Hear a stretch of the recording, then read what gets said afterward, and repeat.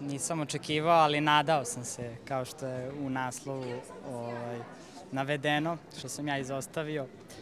Ali pobeda mi svakako znači i predstavlja postrek za dalji rad.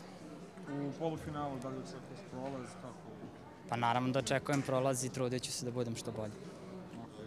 Pa motivisalo me ono što sam i naveo u, u tom pitanju, zaista ljubav prema retorici i besedništvu, uopšte scenskom nastupu, takođe i veliko poštovanje i uvažavanje prema, prema liku i delu doktora Zorana Đinđića.